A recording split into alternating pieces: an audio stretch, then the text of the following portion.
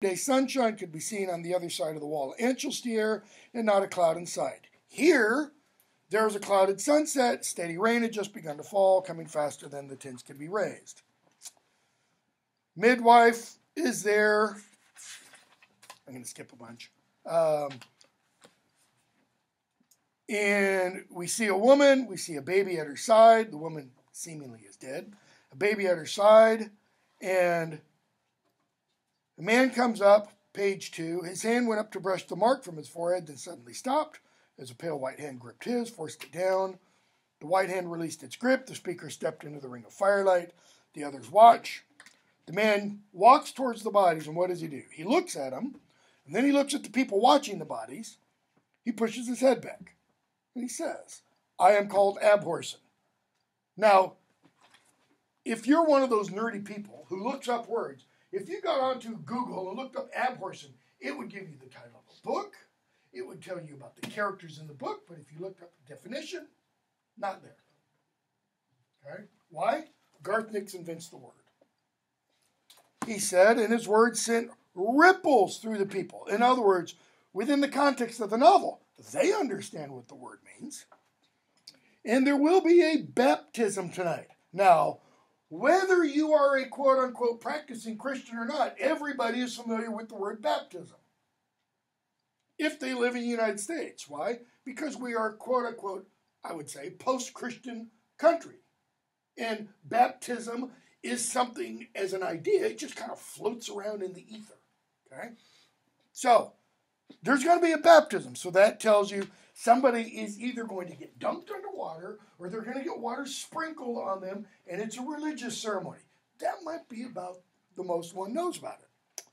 The charter mage, uh, what? Not the priest, not the bishop, not the pastor, not the minister, not the preacher, the charter mage. Looked down on the bundle in the midwife's hands and said, The child is dead, Abhorsen. We're travelers, our life lived under the sky, it's often harsh. We, we know death. That is no sense in baptizing this kid. This kid's dead. Okay? We know death, not as I do. What does he mean, not as I do? Assuming you've read a little bit more into the novel, or, like Logan, you've read a whole bunch of the novel, or you've read the other novels. He's been in death. He's been in death. Okay? He's gone on the other side. He's journeyed to Hamlet's the undiscovered country from whose bourne no one returns, and returned. It's one of the really cool things Garth Nix is doing in these books. Because death, as he will portray it, is not simply a doorway. It's not living here, dead here. Death is what? Nine doorways. or nine gates.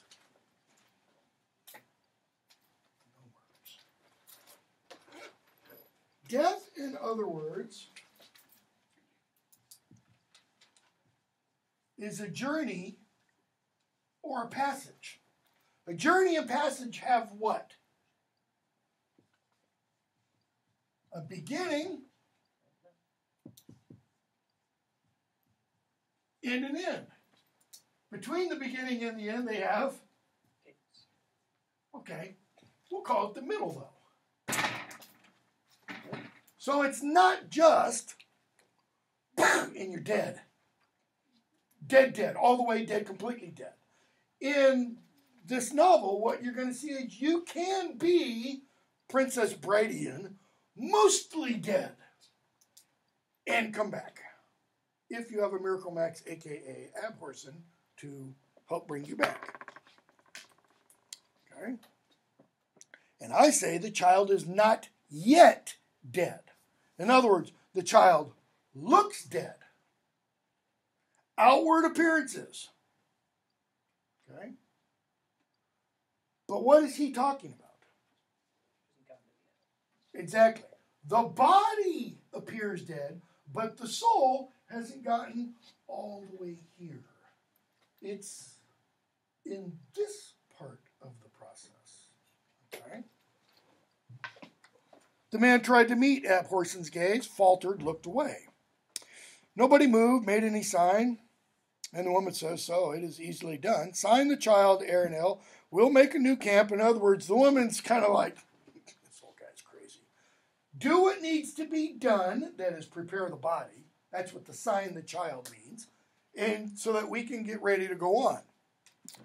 The charter mage, that's the Aranel guy, inclines his head. That is, he's listening to her, so she's the leader of the group. And the others back away, start packing up their camp. And they keep looking kind of at the Abhorsen. When the midwife went to lay the child down and leave, Abhorsen said, oh, Stop, wait. You're going to be needed. She's a midwife. What does a midwife do? Brings a child from where? Womb to earth. It's the birthing process, right? Guess what? This is also a birthing process. The birthing is from earth here to wherever this is. And you get to the end of the third book, not the prequel third book, that's the fourth book. Get to the end of the third book, and it's not clear what that final place is. Okay? So, he says, You're going to be needed. The midwife looks down at the baby, sees it's a girl. You know, could be sleeping. Why? Because dead people look like they're sleeping. And sleeping people look sometimes like they're dead. She had heard of Abhorsen, and if the girl could live, so she picks up the child, holds her out to the charter mage. If the charter does not, says the man, the charter mage, the Aranel guy, Abhorsen, let's see what the charter wills. So the charter has volition. The charter has agency. It can do something. So is the charter just another name for God? No, it's not. It's another name for something. I just haven't figured out what that something is yet. It's one of the things I love about these books. You can't pin them, you know, they're not like um, George MacDonald's books where it's very clear, you know, something is God and something is Satan and, you know, everything in between. Not clear at all. Okay? So, uh, lost my page. The man looks at the child again, sighs, takes a small bottle from his pouch, holds it aloft, cries out a chant. That's the beginning of a charter. One that listed all things that lived or grew, or once lived, or would live again, and the bonds that held them all together. So if he's chanting something and it's listing all these things, what is he chanting? What's it like? Can't say what it actually is. Like another language? Oh, well, no, he's not speaking another language. He's speaking in words they all understand because we're told it lists things that lived or grew, so they, they understand that. It's like a prayer. Okay? And it's listing what? Things that are or have been alive. Well, the child was or had been alive, unless it was stillborn, we're not told. Then the chanter is silent. Notice, as he speaks, he's holding this bottle, and what happens to it? it fills with light. So the words that he chants cause light to fill the bottle. Is he chanting, light fill the bottle, light fill the bottle, light fill the bottle? No. He's chanting and remove God. And the charter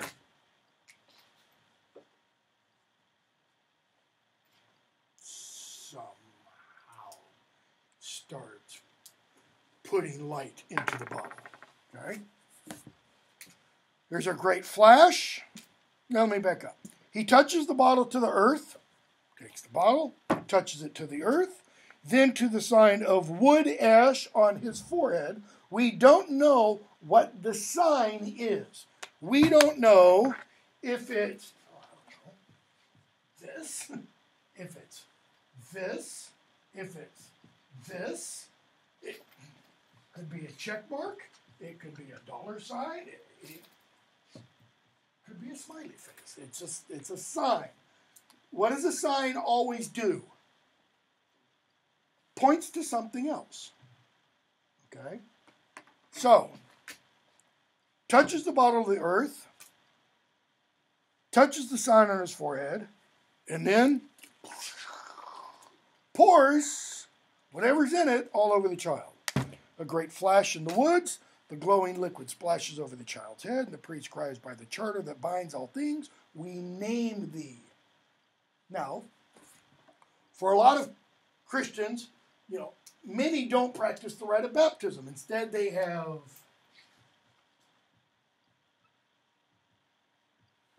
christenings. What's a christening? It's where you name the child. Doesn't mean it, you know, the kid doesn't have a name until that happens, because sometimes this doesn't happen until the kid's 8, 9, 10, 12 years old.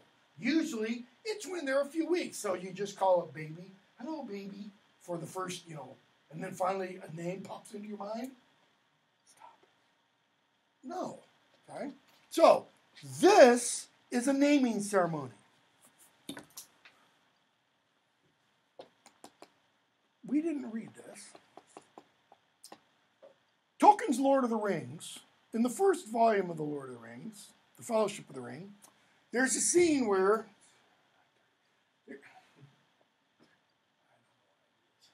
uh, there's a scene where Frodo and his group meet Tom Bombadil.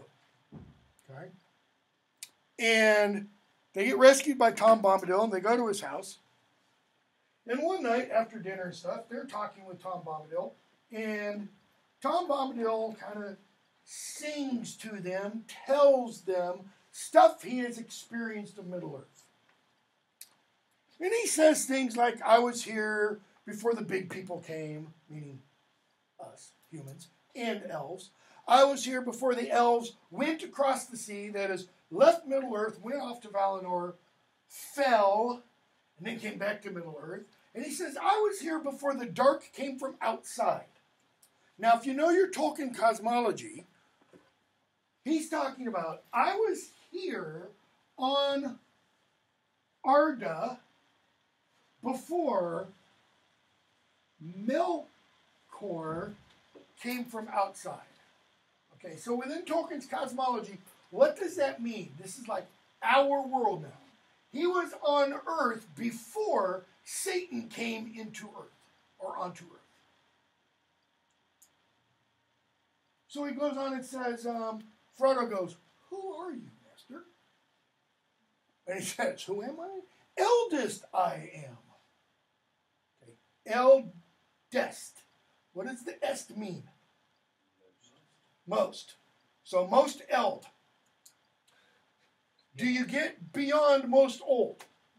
Do you get most or oldestest? Not, not beyond eldest, you don't. Eldest means the absolute oldest. Well, later on, Treebeard says, I'm the oldest. And then he's kind of like, oh, yeah, but I forgot about him. Okay? Why is all of this important? Because Tom Bombadil then asks Frodo a question. He turns the question around. Frodo says, Who are you? And he says, Tell me, who are you? nameless, alone, yourself. Now think about that for, for just a moment. Nameless.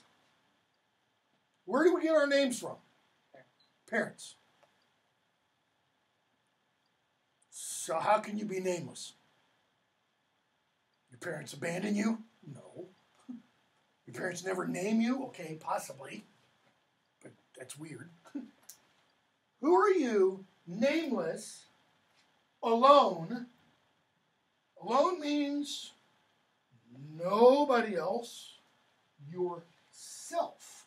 not what others call you, not what others think of you. Okay? Is there anyone slash anything ultimately nameless in the sense of not named by somebody else, alone?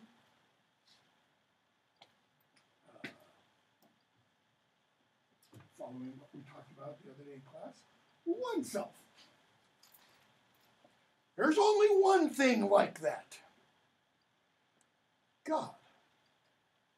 Moses meets God on the Mount Sinai. And what does God tell Moses to say to the other Hebrews when Moses goes, uh, They're not going to believe me.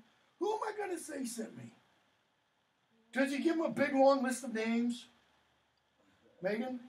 I am that I am. What do you mean, I am that I am? What does that mean? I am. I, what's am? I exist. The I exist sent me. It means the self existent one, nameless. Why? Nobody's behind God to go, God. Or Fred, you know, if that's his real name. Tetragrammaton, you know, whatever. Nobody's there. He names himself. And what does he name himself? I be. That's what it is. I be. All of you, all of us, everything else, not be. Everything else be dependent. D, talked about this before. Hanging from, out, uh, D, out of or from, pendant. Hanging. We all, everything, according to this idea, hangs from God. Why? Because God brought it all into existence. Okay? So, here we get a naming. They're going to give the child the name. Normally, the parents of the child would then speak the name, but now Abhorsen speaks. Sabriel. Normally, the parents. Why? Because he is Sabriel's father. We come to find out. And as he uttered the word, word, the wood ash disappeared from the priest's forehead. That is, the priest who put the sign on the child, okay, the sign that was on his forehead disappears. And slowly takes shape on the child's. The charter had accepted the baptism. So whatever this is, notice, it can be pleased. If it accepted it, it's been placated. It's accepted whatever the offering is. But, but, but, she's dead. What tells him she's dead? No breath, no heartbeat, no pulse. Hmm. And he's like, Is it really gone? Maybe there's a little bit left. Maybe this is a mistake. Slowly, a mist begins to rise from Abhorsen's body, spreading towards the man and the midwife, who do what? They get the hell away from there. They go to the other side of the fire because this guy, very shortly, is encased in what? Frost. He could hear the child crying. That's good. He who? Abhorsen. Why? Because she's somewhere in here. He hears the soul of the child crying. That means it's still alive, right? Because dead people don't cry. So he goes, he gets the body, he brings her back. I'm skipping a bunch of stuff. And we see page seven. He speaks with Kerrigor, who comes up in both this book and later books. Um, let's skip a bunch. Abhorsen gets the child and comes back. Page 9. Frost cracks on the ground, icicles hung from Abhorsen's nose. He wipes them off. He asks the midwife, How is she? Very well. A little cold. Well, yeah. she was in death, you know, it's going to be a little cold. So the woman says, Shall I take her to my house? I have need of a nurse. Will you come? Uh, that person says, I will take her to my house. I need a nurse. Will you come? She says, You, you, you you're a. There's one of those words necromancer. Necro, death. Mancer, sorcerer, magician, magic.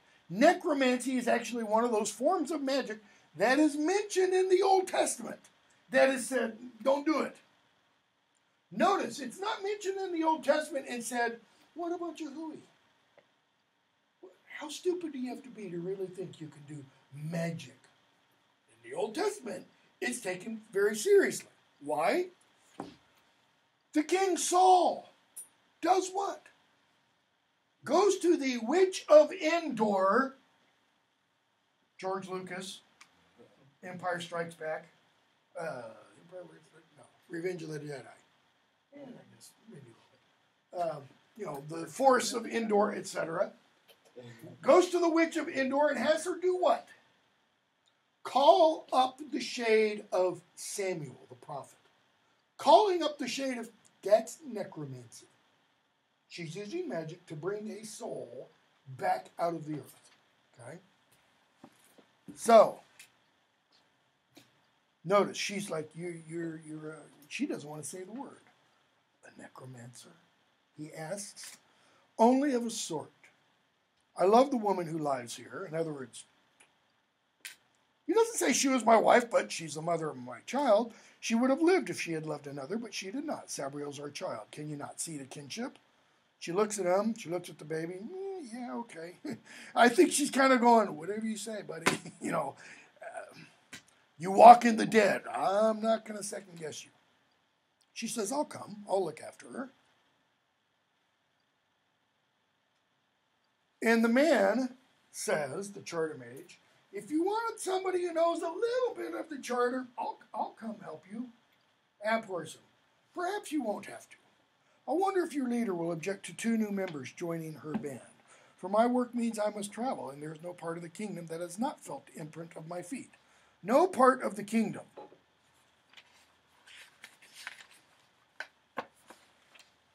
Well, the kingdom goes from the wall here to all the way up here. So what you just said, I get around. Okay.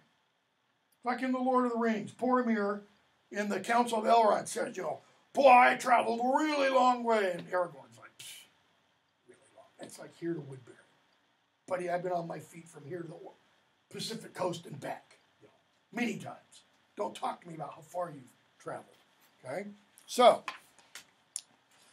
Abhorsen says, I am a necromancer, page 11, but not of the common kind. 25 minutes left, and we're not even into the real book yet. Where others of the art raise the dead, I lay them back to rest. Notice, rest. He doesn't say, I send them to hell, you know, where they belong, etc.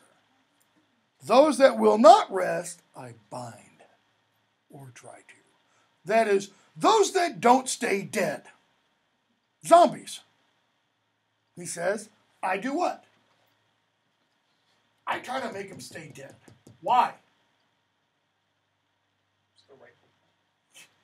The dead are supposed to stay dead. It's how it works. Living live, dead dead. Never the twain shall meet, so to speak. Okay? I am Abhorsen. They're kind of like, okay, if you say so. What does he mean by saying that there? That's what the name means.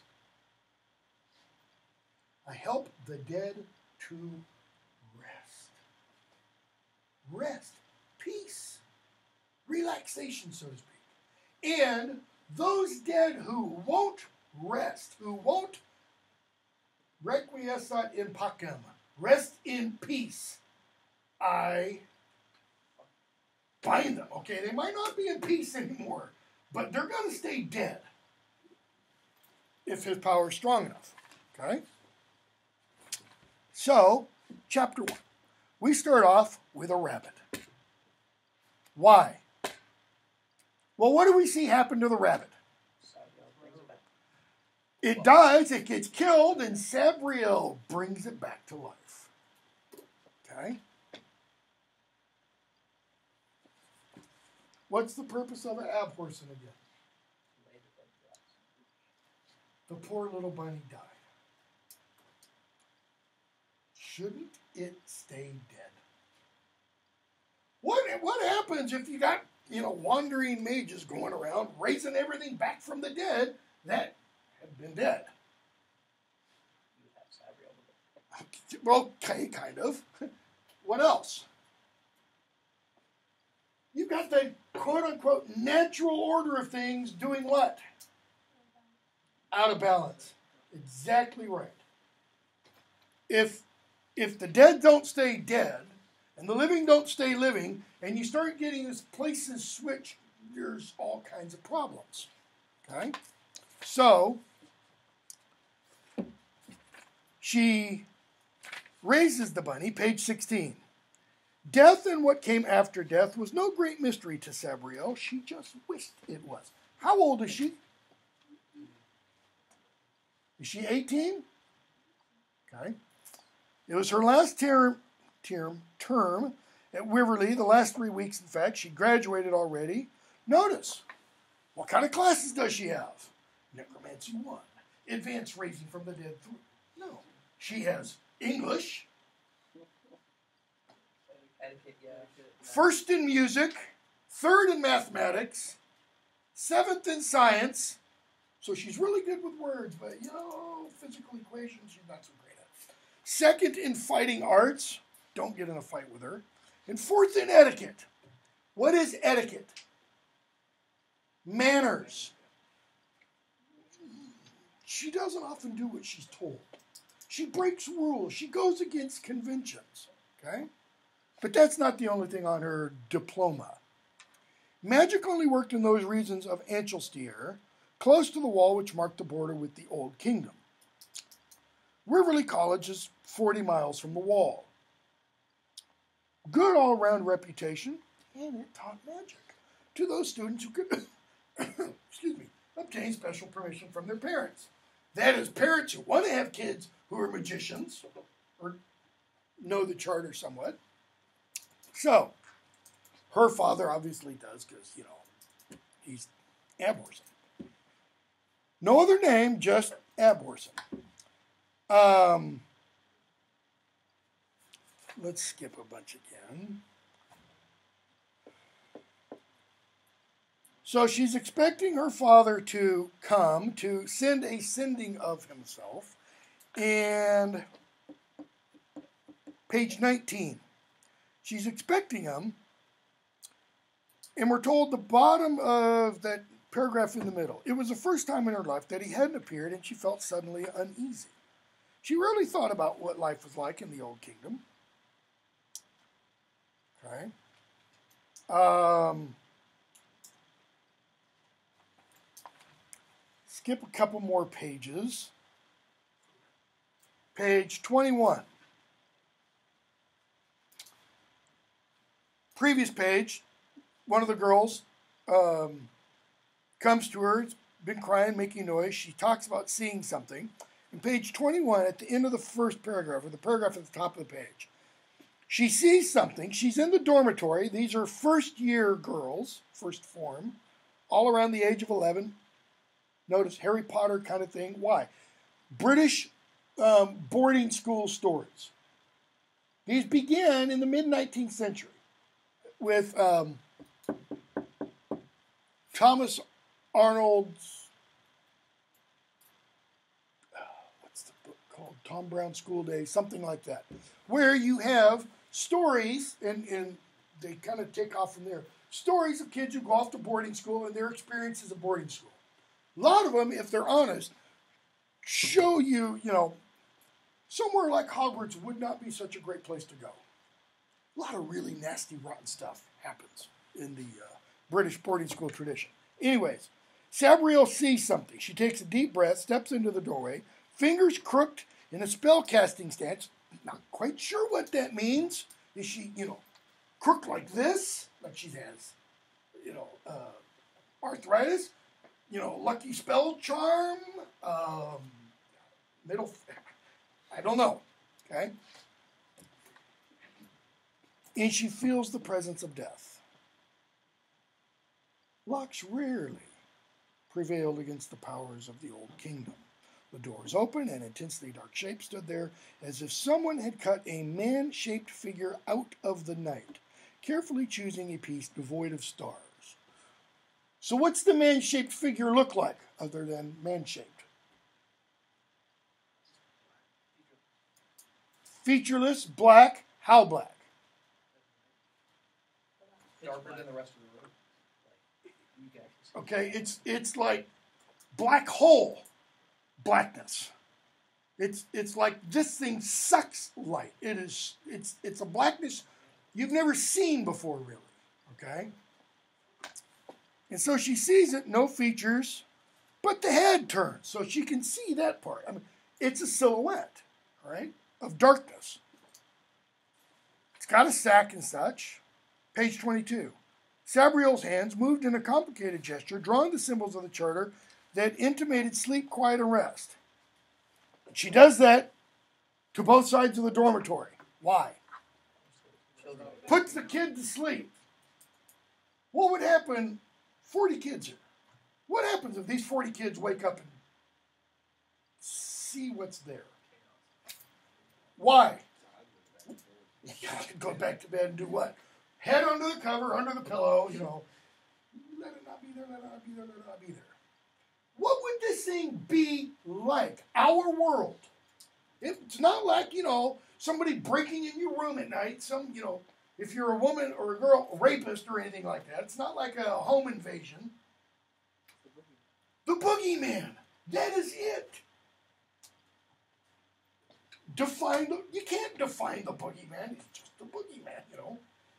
But a shape with no features, no color, no light, it just moves around. Because it's unknown, that's why there's so much fear attached to it. Okay? So they all stop screaming and they go back to sleep. Page 23. It was an old kingdom denizen. That is, it it belongs there. So if it belongs there, why is it 40 miles on this side of the old wall? What does the old wall separating the old kingdom in Ancelstierre represent? Yeah, pretty much. It's the the veil between the living and the dead, kind of, like in the Harry Potter novels. Okay, the separation between magic and not magic, between the real, seemingly, and the unreal. Because most people from Ancelstierre, one, they've never been in Sabriel, uh, excuse me, in the Old Kingdom, and two, they don't believe half of what they've heard about it. Okay? Vaguely humanoid, but more like an ape than a man, and obviously only semi-intelligent. No, mo- but there was more to it than that. Sabriel felt a clutch of fear. She saw the black thread that came from the creature's back and ran into the river. Into what river? Is there a river outside the dormitory? No. Where is she now? She's gone into death. So this thing is also in death. And notice it's got a string that attaches it. Why? It's like a kite, essentially. Somebody's flying this thing. Okay? And that kite, the, one, the string goes off into the river. Somewhere beyond the first gate, even further, that umbilical cord, that umbilical rested in the hands of an adept. What does it mean to be adept at something? Really, really good at it. As long as the thread existed, the creature would be total, totally under the control of its master. So, what does she need to do? Cut the cord. Okay.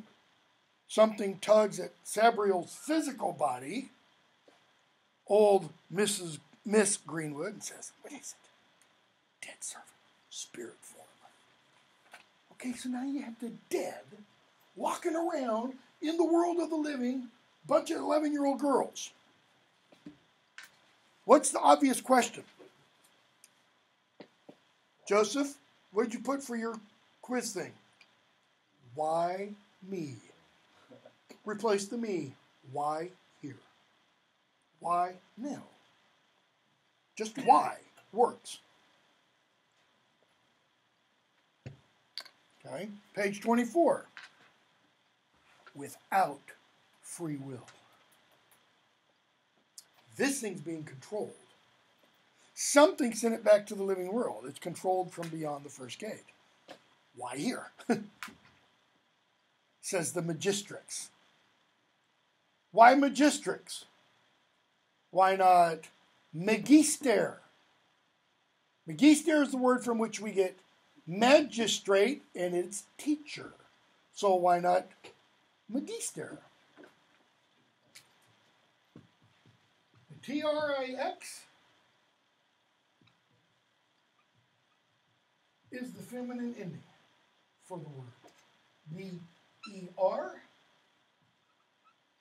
is the masculine ending.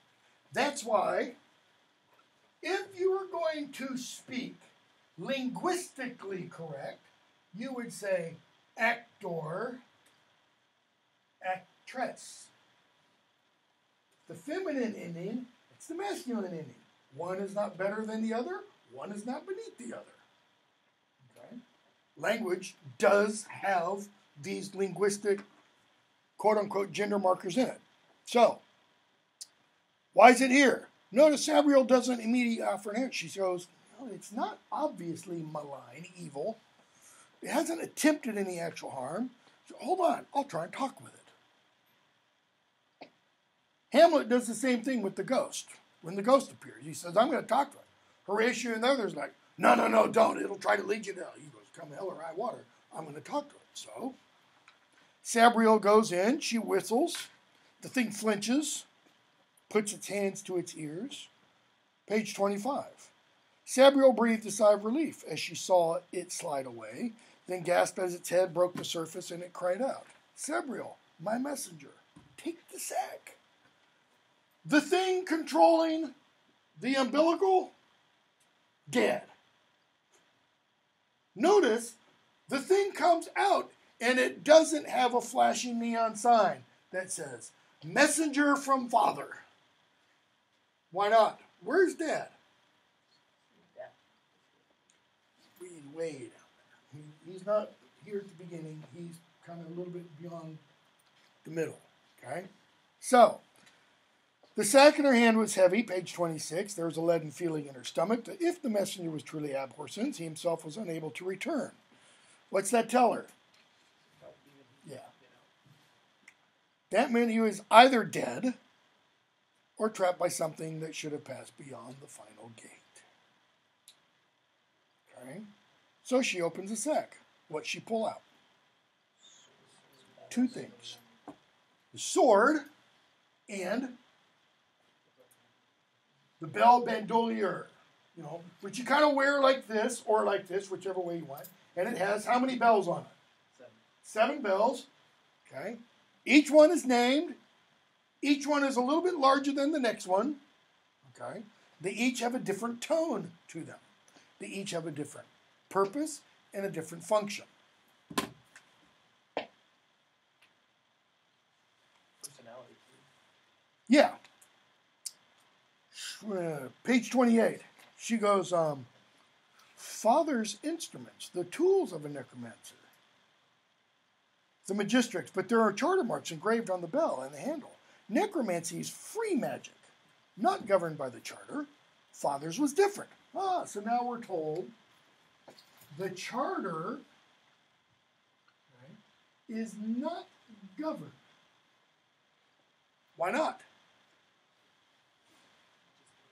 It just is self governing, it has its own will.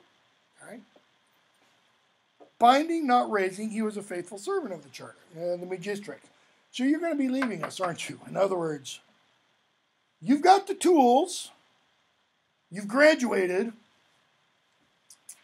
I just saw it in the reflection of the bell. You were crossing the wall. Yep. Got to go find him. Don't know where he is. Got to go find him. 29. Final paragraph.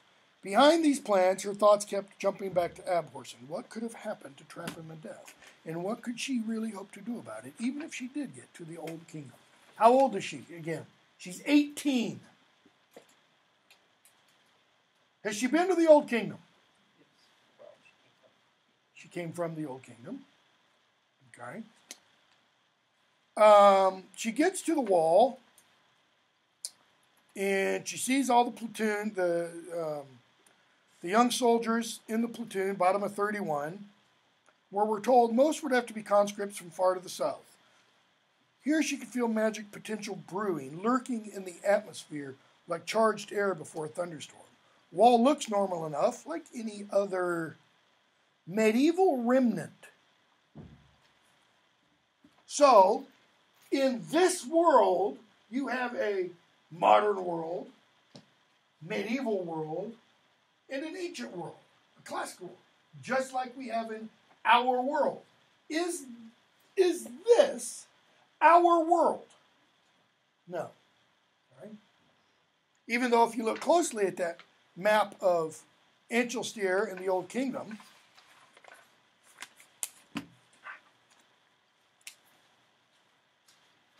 kind of shaped like what?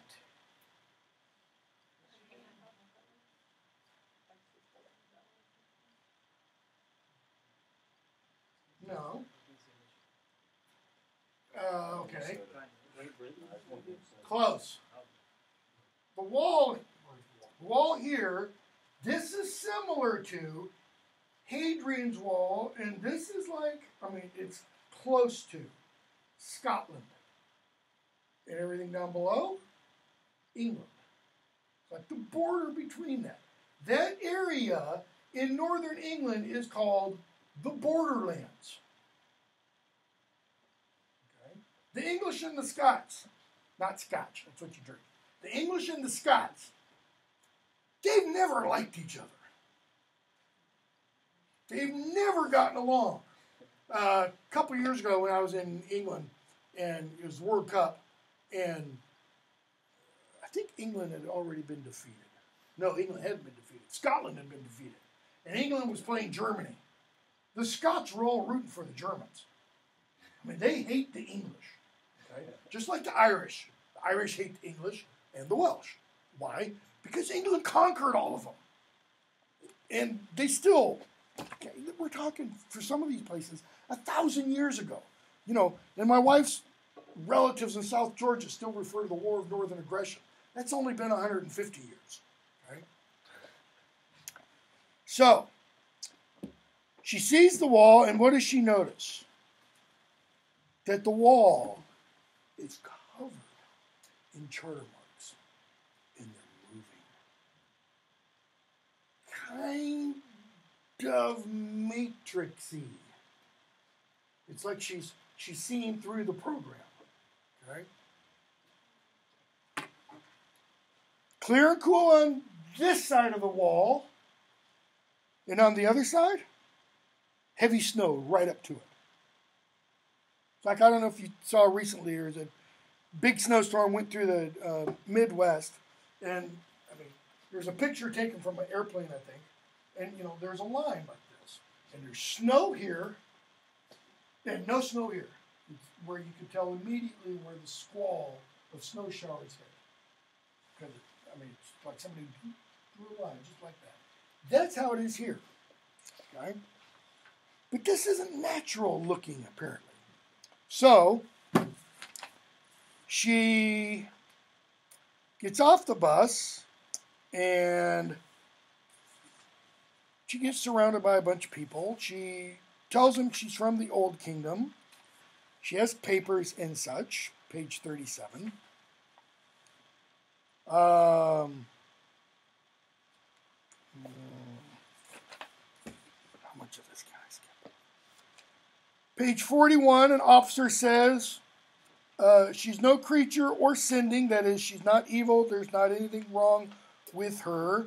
And um, she talks to this officer about her father and asks, page 43, Did you know him?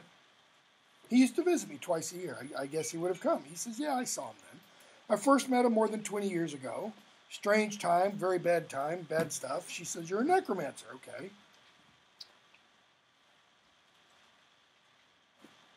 And he says, When I got here as a young soldier, corpses wouldn't stay buried.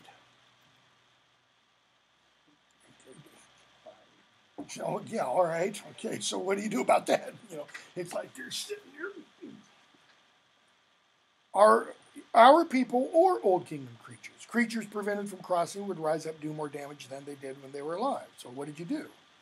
He talks about I met a man sitting on a charter stone, top of the hill that overlooked. He was interested in the perimeter. It was it was Abhorsen. He was coming to us. He'd heard about the dead. Why? Because he's a dead fixer. He deals with the dead. And he talks about the wind flutes that he created. Right? Um, we'll stop there. We're going to have to pick up with around page 46, 47 and get a whole lot further on uh, Monday.